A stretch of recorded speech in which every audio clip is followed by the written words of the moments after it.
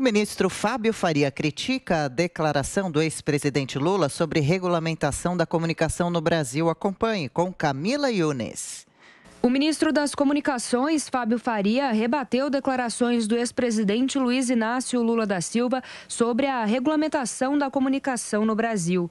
Pelas redes sociais, o PT publicou uma fala do petista em que ele afirma: é preciso atualizar a regulamentação da comunicação nesse país.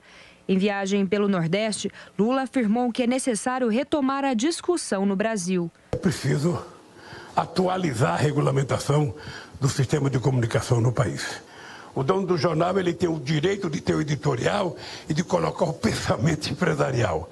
Mas na informação, ele não pode ideologizar. A informação é o que aconteceu. E nós vamos ter que discutir isso. O ministro Fábio Faria questionou a fala de Lula, afirmando: o PT tem falado reiteradamente sobre a regulamentação da mídia e ontem mesmo voltou a repetir: estamos em 2021 e temos que lutar pela liberdade de expressão e da imprensa, como defende o governo Jair Bolsonaro. Não queremos retrocesso.